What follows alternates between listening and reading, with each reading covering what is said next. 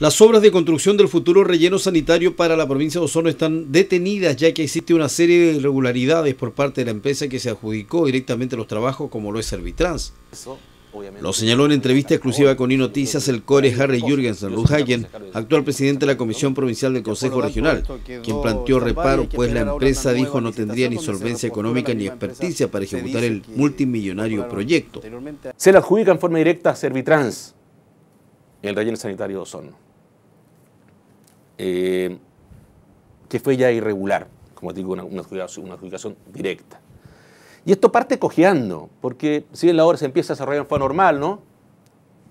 Yo estoy, y tengo que recalcar, muy de acuerdo, y vuelvo a decirlo, en que, en que hay un relleno sanitario. Aquí nadie está en contra, todo lo contrario, creo que todos los consejeros regionales y toda la comunidad de estar eh, muy, muy, muy a favor de un relleno sanitario, porque es lo que se necesita, por un tema de salud pública en el fondo, ¿no? que significa manejar bien los residuos sólidos.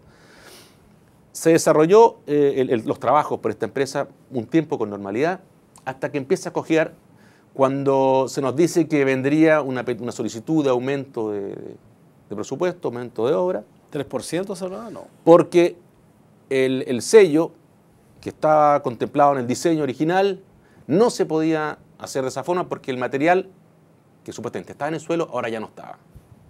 Y debía ser cambiado por otro tipo de sello que sería un material sintético, un GCL, tengo entendido que se llama.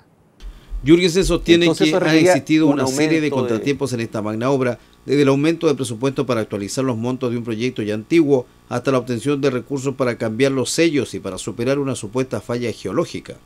Una falla geológica en el suelo, en el terreno y sale bien bullado, sale en la prensa avisado, sale la empresa diciéndolo, también sale gente de la municipalidad, tengo entendido el mismo alcalde diciendo que hay una falla geológica que sin duda va a significar poner una millonada encima sobre la mesa para que se pueda seguir con esta obra adelante.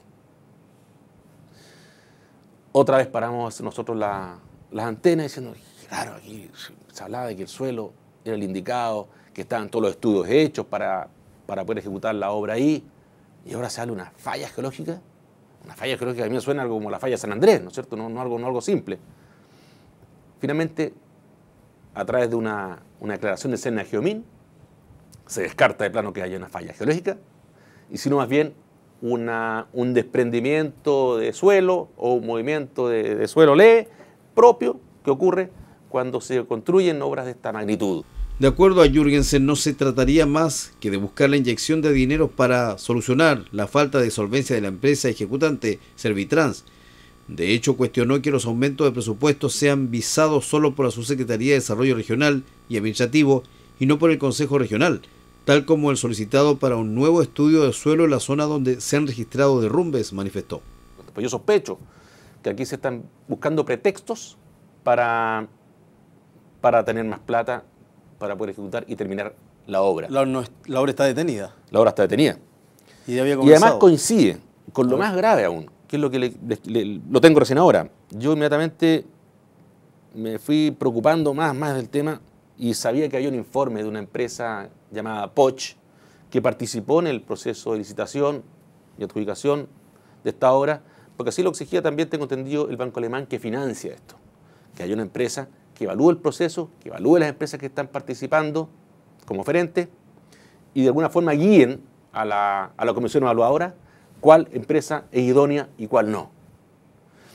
Y es curioso que esta empresa Poch hace un informe y en, y en todo lo que se, se, refiere en muchas partes de este informe en que la empresa Servitrans no califica y no la recomienda para que ejecute esta obra. Por ello es que ya ha solicitado a reparticiones del gobierno regional informes sobre dos temas puntuales, dijo. El primero referido al análisis de la real solvencia económica de Servitrans y el segundo, el documento elaborado por una consultora especializada que no recomendaba que dicha empresa se adjudicara las faenas. No califica puesto que su experiencia en obras civiles no fue debidamente acreditada en el proceso de licitación. Servitrans, Servicio de Limpieza Urbana S.A., esto es parte del informe.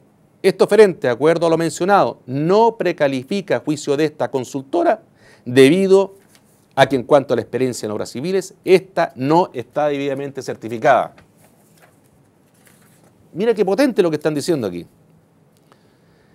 En la instancia de precalificación a juicio de esta consultora, el oferente Servitrans no califica. Tercera vez que menciona lo mismo. Recomendaciones. Visto lo expuesto en los numerales anteriores, se recomienda adjudicar, adjudicar, la licitación pública internacional denominada Construcción y Operación Relleno Sanitario Provincial Comuna Osorno al oferente Navarrete Díaz Cumcille, Ingeniero Civil S.A. Jürgensen se muestra sorprendido que este informe no haya llegado al Consejo Municipal de Osorno para que adopte las medidas al respecto. Yo sospecho que esta información probablemente no llegó a manos del Consejo Municipal. Eh, se omitió mucha gente que tenía que estar o que estaba en el proceso de evaluación y tenía que saber de esto antes de, ver si calificaba o no la empresa. Por tanto, aquí hay una, irresponsabilidad. aquí asumió la Municipalidad de Osorno un riesgo. Y yo, yo creo que tú también, o cualquier ciudadano de América, no, no, quiere una autoridad municipal o un alcalde que asuma riesgos con obras tan importantes como esta y que finalmente van a terminar mal. Yo no me cae ninguna duda que esto va a terminar mal. Ojalá me equivoque, pero los antecedentes están a la vista y lo más probable es que esto termine muy mal. El CORE insiste en que Servitran no sería la empresa idónea para construir el relleno sanitario de la provincia de Osorno. Están los antecedentes aquí sobre la mesa que la empresa no era idónea, lo dijo Poch, y este informe no fue considerado o fue emitido por la autoridad. Obras inconclusas por el momento inconclusa, yo creo que terminan mal y yo creo que no va a terminar con esta empresa. Las declaraciones entregadas por el consejero regional CORE de la provincia de Osorno, Harry Jürgensen Ruhagen, en la edición central de Noticias sobre la empresa Servitran y la construcción del futuro relleno sanitario, cuyas obras están detenidas en Cura.